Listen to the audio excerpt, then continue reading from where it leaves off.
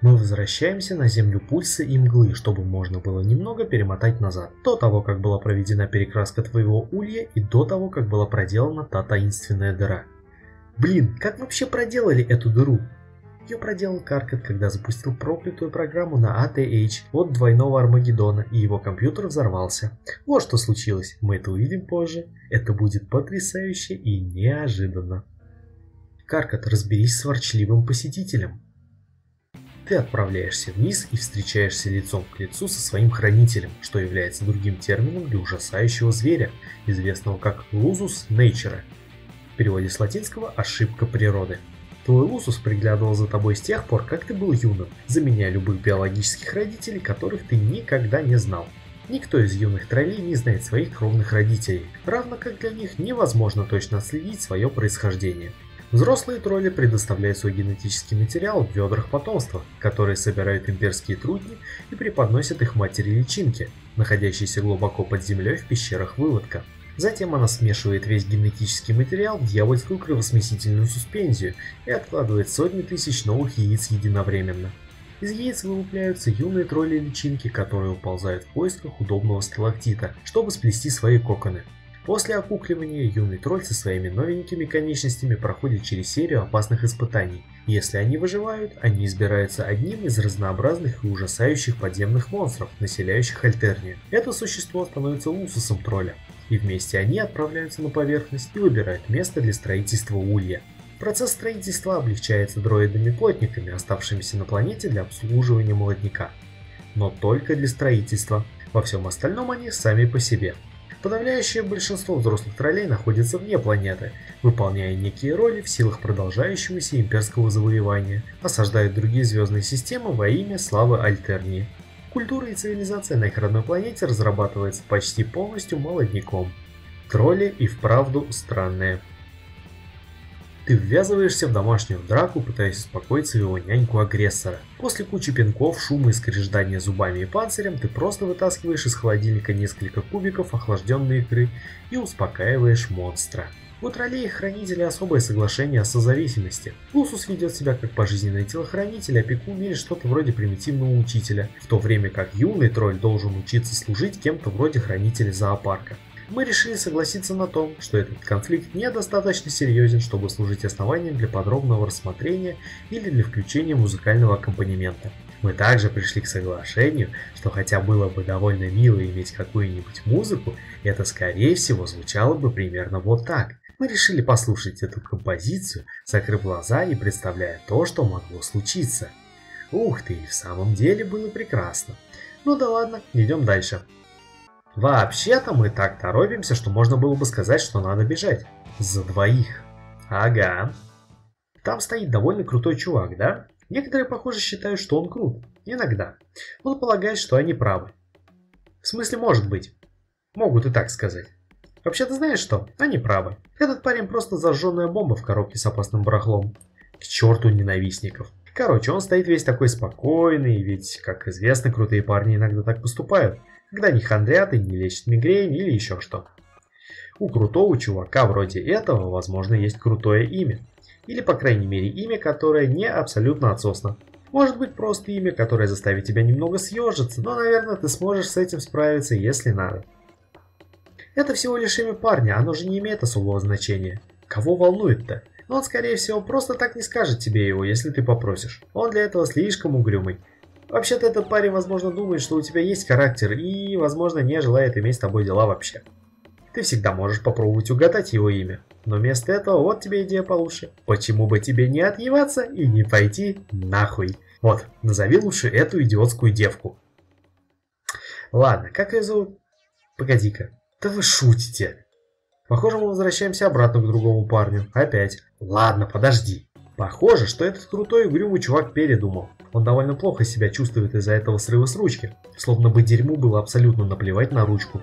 Дерьмо захотел бы помириться с ручкой и, возможно, поискать семейной консультации. Так каким будет его имя? Видите имя? Твое имя Солукс Каптор. Ты настоящий маньяк компьютеров и ты знаешь все коды. Все их. Ты непревзойденный специалист пчеловодческого сетестроения. Хотя все твои друзья признают твои непревзойденные достижения абсолютно охрененного хакера, ты чувствуешь, что мог бы быть лучше. Это одна из нескольких вещей, из-за которых ты занимаешься самобичеванием без особых на то причин. Во время спорадических и истощающих биполярных колебаний настроения. У тебя влечение к двойственности, как в логике, так и в жизни. Твой мутантный разум преследует психические крики безвременно усопших. Твои видения предвещают смутную угрозу аннигиляции планет, и тем не менее, в отличие от обычно лишенных пророков Рока, ты одарен двойственным видением. Пока что.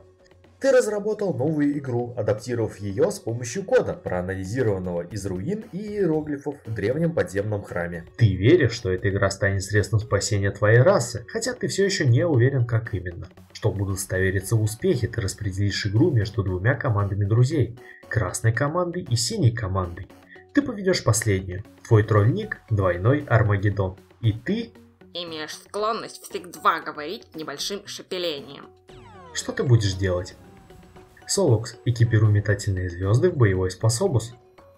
Зачем тебе это делать? Высокоуровневому псионику нет нужды устанавливать конкретный способус. Солокс, сбрось звезды в сторону способуса. Ты быстренько расправляешься со способусом и... О боже. Один из твоих ульевых компьютеров. Кремниевые соты были разрублены твоим глупым маневром. О чем ты вообще думал? Рабочие пары взлетели и начали вытанцовывать злобные сообщения тебе на бинарном пчелином коде. Солукс, попробуй мед. Нет, ты ни при каких обстоятельствах не станешь есть мед разума. Последствия крайне неприятны. Ты разводишь этот мед для своего лусуса.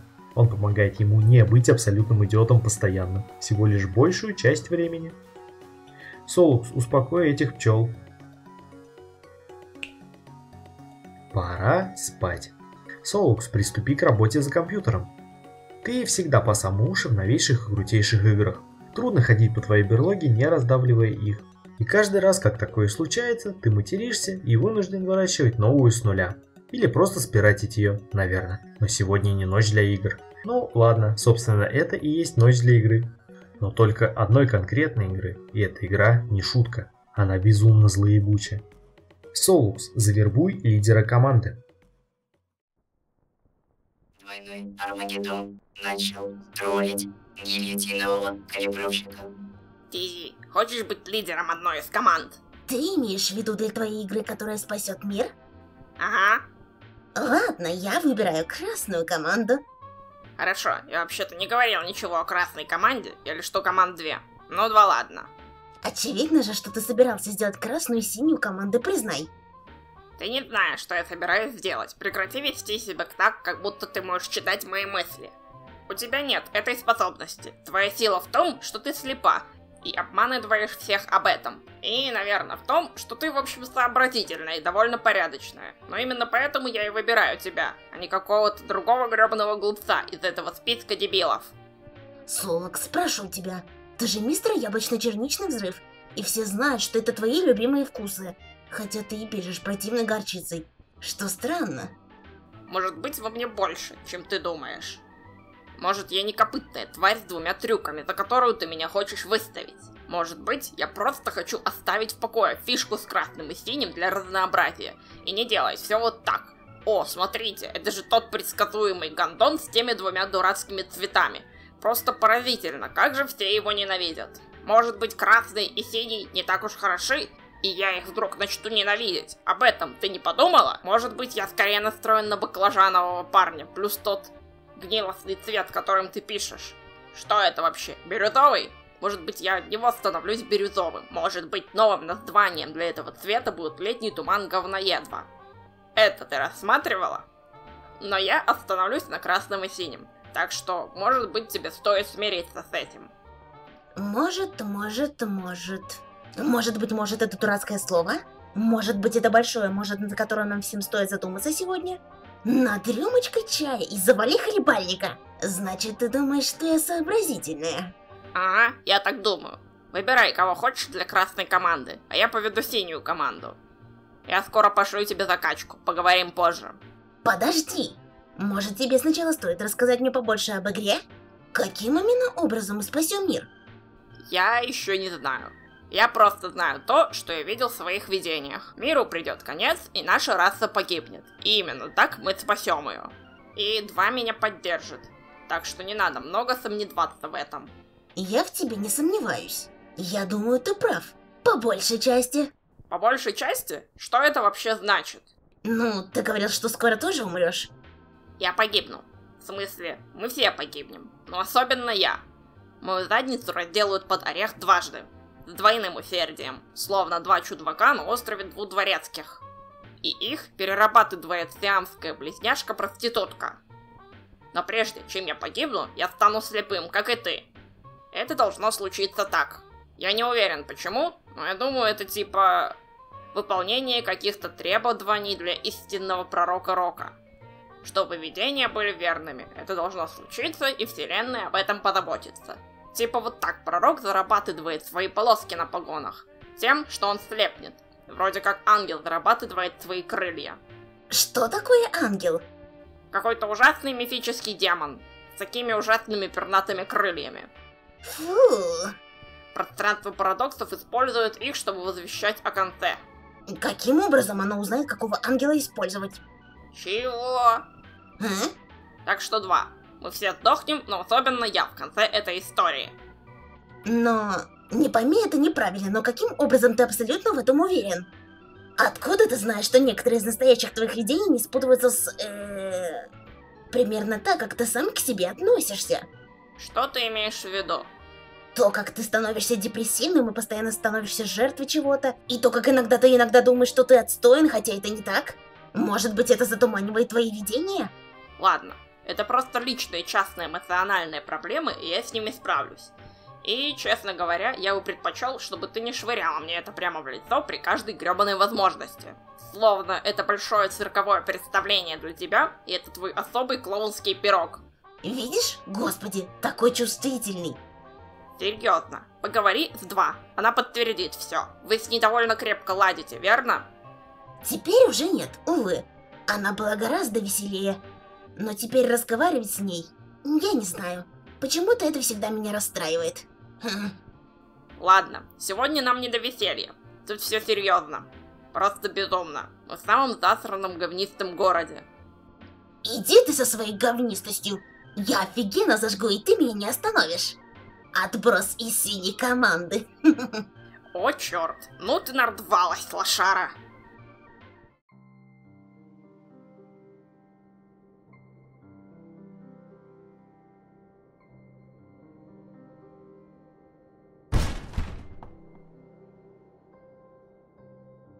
Это... Ладно, это было абсолютно бессмысленно. Зачем это вообще? Кем бы ты ни была. Солукс, разберись с восставшим апокалипсисом. Восставший апокалипсис начала троллить двойной Армагеддон. Ты выбрал команды? Я еще работаю над этим. Но два, более-менее. Мы все скоро будем играть. Я так полагаю, покинем это пространство. Именно это случится, верно? Да. Итак, полагаю, ты будешь весьма счастлива, когда мы выберемся отсюда. Я этого не знаю. О, можешь ли ты, по крайней мере, оставить позади голоса? Этого я также не знаю. Разве это не депрессивно? Мысль, что они могут остаться с тобой до твоей смерти. Совсем нет. Я нормально к этому отношусь. Я нормально ко многому отношусь. Даже к нашему неизбежному провалу. Хотя он ненадолго будет замаскирован под победу. Ну ни хрена себе! Это было еще более депрессивно, чем то, что ты только что говорила. Тредди была права, с тобой в эти дни невозможно общаться.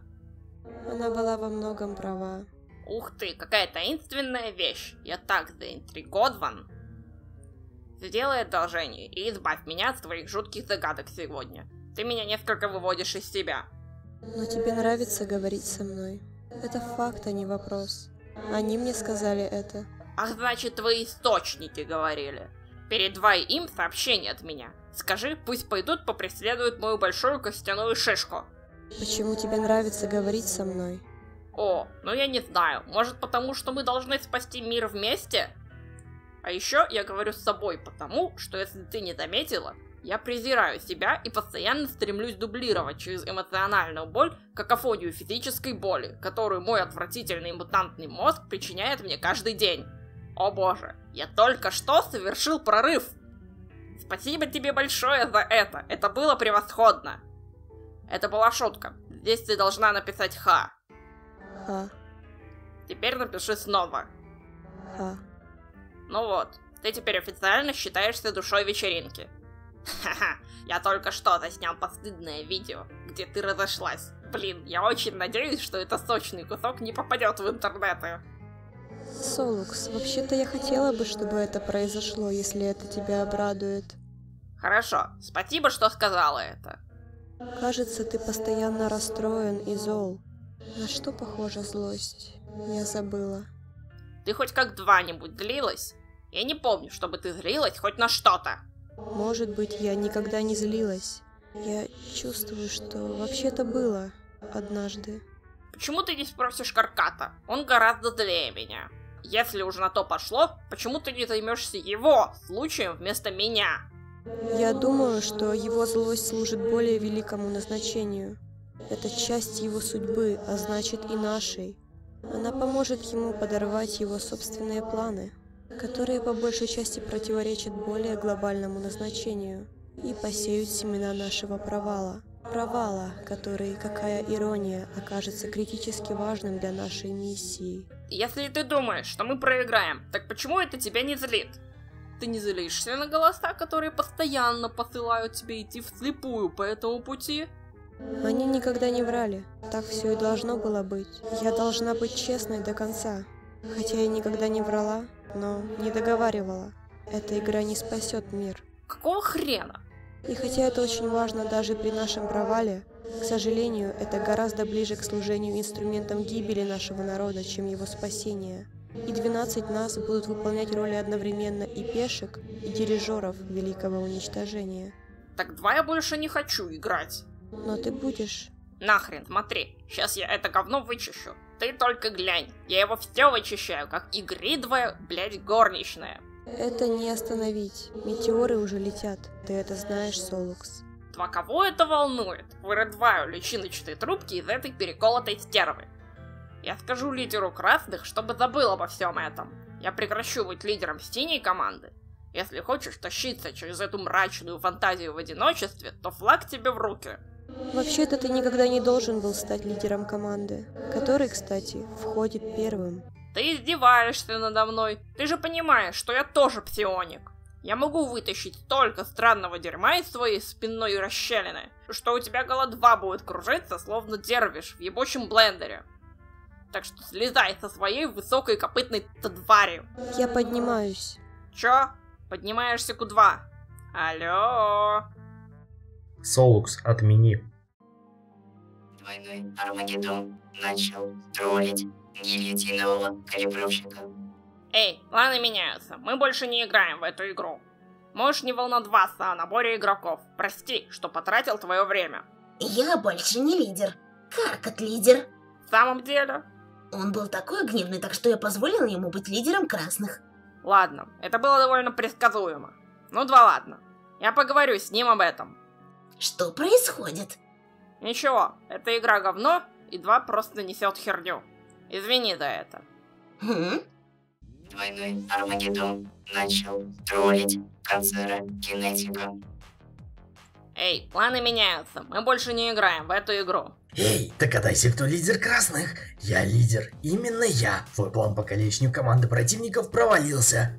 Я знаю, она мне уже сказала. Мне плевать. Эта игра плохая. Она приведет к концу света, а не остановит его. Так что забудь, просто возвращайся к тому, что ты там делал. Написанию своего дерьмового кодва или еще чего. Ты так жалок. Это еще одна хилая попытка ослабить своих оппонентов. Терези и я уже установили подключение, и мы отлично идем. Мы прекрасная команда, а я прекрасный лидер. Мы эту игру сделаем легкую, пока твоя команда будет продолжать спать на брюхе. О, господи. Нет, какой же ты идиот. Два не волнует меня больше эта игра. Я просто вышел, я не играю, и тебе не следует. Поразительно. Ты либо очень настойчив с этой совершенно явной уловкой, либо просто настолько жалок и некомпетентен. Ни тот, ни другой случай не заслуживает моего уважения или моей дружбы. Вообще-то знаешь что? Дружба отменяется. Это официально. Пока-пока, дружба. Ой, да как будто ты этого не говорил уже где-то с миллиард раз. Ты вообще не в положении, чтобы задавать вопросы о моей компетентности. Ты худший программист из тех, что я как два либо видел. Ты абсолютно ничего не знаешь о компьютерах, так зачем вообще пытаешься? Единственное, что ты можешь хорошо делать, это орать и совершать огромные ошибки, и быть уродливым и жутким по всем параметрам, и иметь маленькие дурацкие тупые рожки. Честно говоря, я не вижу, что такого великого в твоем программировании или хакерстве. Что вообще такое хакер? Просто какой-то чопорный мудазон в фильмах, который делает не настоящую фигню или подделывает слова. Это же даже не настоящее призвание. Просто какой-то дебильный титул, которым ты сам себя наградил, чтобы чувствовать себя хоть чуточку менее тошнотворно. О нет, опять твои детские обзывательства. Мне не нужно ничего доказывать тебе. Я великий хакер. И точка. Нет, теперь что все ясно. И все это время был обманщиком. Что этот бессмысленный код, который ты написал, вообще делает? Это все бред, вроде блефа. Ты просто говоришь, о, Каркат никогда не поймешь, что за хуйню я написал, потому что он слишком тупой, чтобы разобраться. Ну так ты попался. Готов поспорить, эти вирусы вообще ничего не делают. Подожди, Кей-Кей. Готов поспорить, что если я их запущу, то вообще ничего плохого не случится. Может даже улучшу производительность своего компьютера. Нет, не смей. Как насчет этой идиотской программы с красным и синим кодом, которая вообще бессмысленно перекрашивать? Что это вообще значит? Это еще одно твое кидалово. Почему бы тебе не запихать какую-нибудь дерьмовую картинку файла и не притвориться, что это код? О господи, не запускай это, я серьезно говорю. А что случится-то? Я в этом не уверен, но будет очень, очень плохо, если ты просто не угомонишься. Ага, ты даже хорошую ложь не можешь придумать, когда я тебе на нее тыкаю. Твой блеф отменяется. Я компилирую ее, пока мы разговариваем. Запустится автоматически, когда закончит. А теперь мне надо пойти уделить внимание кое-чему снаружи, потому что Терези прямо сейчас делает что-то непроизносимо дурацкое. Ой, забудь, что я это сказал. Это частная информация. Ты наитупейший личинка-ёб на всей планете. Я гарантирую это. До скорого, придурок. Кей-Кей, не запускай этот код. Алло, Компьютер, канцера, генетика взорвался. о боже. Ты сильно испуган абсолютно неожиданным взрывом. Каркат и его друзья, и все, кого они когда-либо встретят в дальнейшем, испытают на себе великую неудачу, вызванную проклятием, нечаянно наложенным эзотерическим вирусом двойных переплетающихся лент Мёбиуса, написанным Солуксом. Лозус каждого из троллей вскоре погибнет. Все их протоспрайты, кроме одного, будут прототипированы мертвыми лусусами. Каждый из них еще до входа в медиум. После входа они испытают горькую сладость встречи с созданиями, когда ядра вылупятся, запустив метаморфозу спрайта. Впервые в жизни тролли получат возможность провести вербальные диалоги со своими хранителями, и те будут направлять их во время путешествия. К сожалению, низшие бесы и воюющие королевские пары также получат преимущество от монструозных прототипирований. Каждый спрайт, кроме одного, будет прототипирован единожды. Игроки быстро поймут, что как минимум одно прототипирование на игрока до входа в медиум абсолютно обязательное для успеха в целом. Дополнительное прототипирование до входа всего лишь усиливает их врагов безо всякой пользы. У игры нет четкого правила, требующего что-то мертвое для прототипирования, но исходя из практики, протоспрайтов особо привлекает мертвые или обреченные. В каждом сеансе из когда-либо сыгранных исключения из этого принципа чрезвычайно редки. Солукс, оплакивай. Зачем ты послал Каркуту этот код? Это была такая плохая идея. Ты полагаешь, что это был хвастливый жест, чтобы твой друг стал более высокого мнения о тебе. Но зачем ты щеголял своим превосходящим навыком, чтобы добиться этого? Это было глупо. Тебе надо стереть все эти умные вирусы, которые ты написал со своего компьютера. Они могут принести только еще больше проблем. Солукс, удали. Удаляя папки с вирусами, ты останавливаешься на странном файле, который у тебя завалялся. Ты не писал этого вируса. Ты его скопировал с темного сервера, лежащего далеко за глобальной сетью твоей планеты. Это приложение постоянно запущено на том сервере. Это чрезвычайно простая программа на ATH, и ее основной цикл привязан ко времени жизни Вселенной. Когда Вселенная умрет, будет выполнена таинственная подпрограмма. Ты никоим образом не можешь узнать, что делает эта подпрограмма. Она запускается на защищенной части сервера, она абсолютно недоступна для взлома. Ты удаляешь файл, но толку от этого немного. Программа уже где-то запущена. К счастью, какой бы вред она не нанесла, это случится через много миллиардов лет. И даже тогда, какой урон вирус может нанести после кончины Вселенной? Этот файл всегда казался тебе весьма странным. Но Солукс даже с двойственностью своего зрения не имеет удобств нашего вездесущего восприятия. Будучи выполненной, под программа призовет неразрушимого демона в только что опустевшую вселенную. Эта монструозная сущность со способностью путешествовать через время очень мало обеспокоена своим прибытием уже после великого уничтожения. У него есть целый труп почившей вселенной для своих прихотей. От самого ее рождения, через ее расширение и сужающееся увядание. В реальности, которую он, как известно, выбрал для истребления, он займется сбором последователей из разных эпох и даже зайдет так далеко, что установит параметры своего будущего призыва. Солукс не мог знать, что вирус по сути формальность. Демон уже здесь. Похоже, что твой Лусус чем-то взволнован. Ты ему дал уже его сегодняшнюю порцию меда. Если он думает, что сможет получить больше, то значит просто жадничает. Ты задаешься вопросом, что его может беспокоить. Ты держишь своего огромного бициклопа прикованным на крыше своего коммунального ульестебля. Только там ему хватает места. Ежедневные дуэли с ним во время кормежек – обычное дело. Будь другой девочкой. Ты теперь другая из пяти девочек.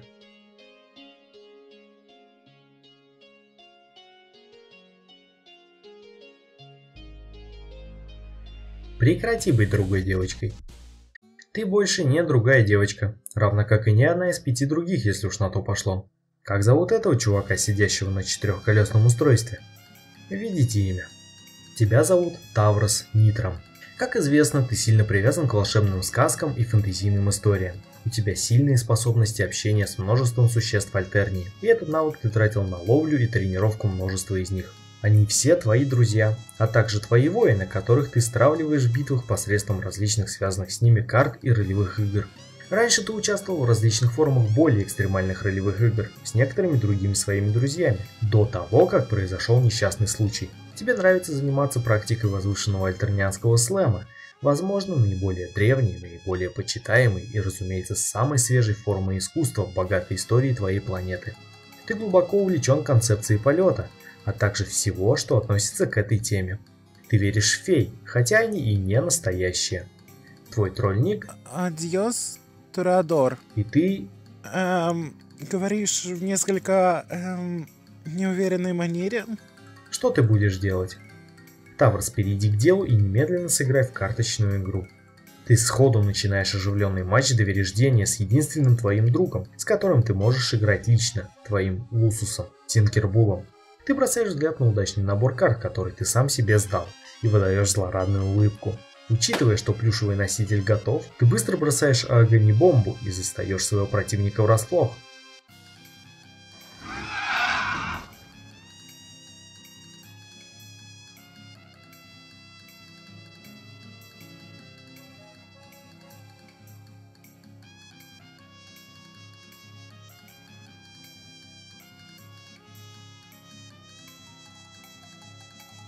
Харсарони, я выбираю тебя!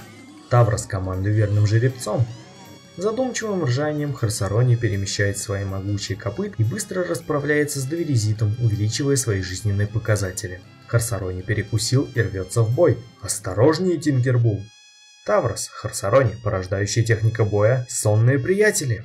Ты используешь свои превосходные способности общения со зверьми, сгибаешь волю яростного жеребца под себя. Тинкербул не может вытерпеть интриги.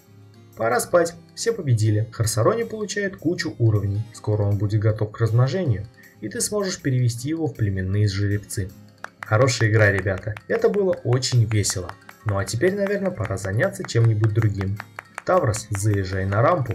Именно так ты добираешься до своей восставанны, когда настает время отдохнуть. Довольно муторное занятие лезть внутрь и выбираться из нее. Таврос, запрыгивай ты не можешь слезть с нее целиком из-за своих огромных рогов. Из-за этого бывает трудно крепко заснуть. Ну, прекрасно, теперь ты покрыт слизью. Зачем ты это сделал? Придется переодеваться. Можно сказать, еще один час спустил в трубу. Вот блин, а теперь твое четырехколесное устройство съехало с рампы. Такое часто случается. Таврос, возьми копье. После основательной уборки и множества ползаний по твоему помещению для отдыха ты подбираешь турнирное копье. Тебе нравится тренироваться в турнирных поединках снаружи. Однажды ты надеешься доказать, что достоин набора в ряды ужасающих имперских кавалерийских жнецов. Это если учесть, что тебя не сразу же занесут в список кандидатов на отсеивание из-за твоей инвалидности, или просто по какой-нибудь произвольной причине. Таврос, полюбуйся плакатами. Ты подкатываешь к своему любимому плакату с Пупа Пеном, который является твоим любимым персонажем. Ты всегда мечтал, что однажды отважный юный Пупа прилетит и заберет тебя отсюда, и вместе вы будете летать по прекрасной райской планете легенде, на которой полно причудливых вещей, вроде пиратов, сокровищ, жестокий злодей с отрубленной рукой и одним глазом, и все эти странные пришельцы, называемые индейцы. Ты оставлял свое окно открытым с самого юного возраста. Просто на тот случай, если Пупа залетит в одну из ночей и решит бросить щепотку особой звездной пыли тебе в лицо. Это увлечение появилось у тебя гораздо раньше, чем произошел тот несчастный случай. Не паралич вызвал у тебя желание быть способным летать. Это было бы глупо и бессмысленно. Хотя паралич вызвал у тебя желание быть способным ходить. Далеко в будущем. Во время вашего путешествия в какой-то момент тебе приладили крутую пару робо-ног. Их построил для тебя тот парень, которому нравится строить роботов, но потом ему нравится ломать их еще больше, чем строить. Обычно именно для этого он их вообще и строит. Хотя изредка он позволяет филантропии одолеть мизантропию. Тебе очень повезло, что у тебя есть друг, который не против немного запачкать руки ради твоего блага. Друг с цепной пилой. Парень, которому нравится строить роботов, просто стоял рядом и смотрел. Всем всегда становилось неудобно, когда он просто стоял рядом и смотрел. И снова гораздо ранее но до того времени тебе приходилось кататься на своем колесном устройстве по различным мирам в медиуме и переносить всякие глупости, связанные с твоей инвалидностью, которые мы не увидим из-за их огромного количества и несущественной важности. Просто так. Ух ты, вот смотри, что происходит, когда ты забываешься и размышляешь о будущем. Начинают накапливаться сообщения. Таврос, разберись с паучьей хваткой.